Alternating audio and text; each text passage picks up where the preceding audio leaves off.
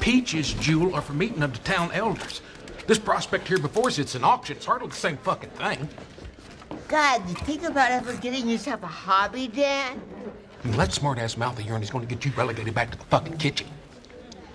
Futile to go at sister